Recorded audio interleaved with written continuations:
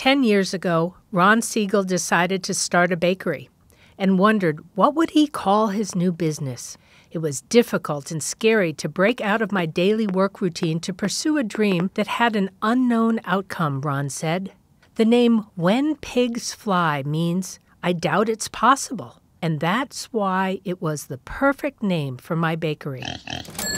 Today, Ron tells his story on the packages of millions of loaves of his bread. When Pigs Fly sells its bread all over New England from its operating plant in York, Maine.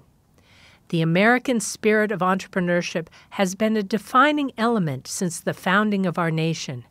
Today, innovators have brought new ideas and technology to the small business lending market. And, as we have described in this book, a consequential transformation has begun.